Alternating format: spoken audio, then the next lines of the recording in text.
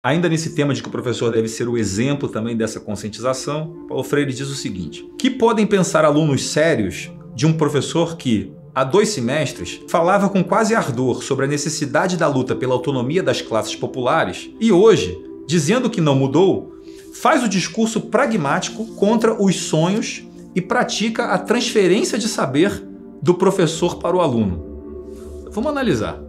Que, que os alunos podem pensar de um professor que falava com ardor sobre a necessidade da luta pela autonomia das classes populares? Aí vamos, vamos parar aqui. O que, que um professor está fazendo em sala de aula falando sobre a necessidade de luta das classes populares? Esse é o primeiro, primeiro ponto, né?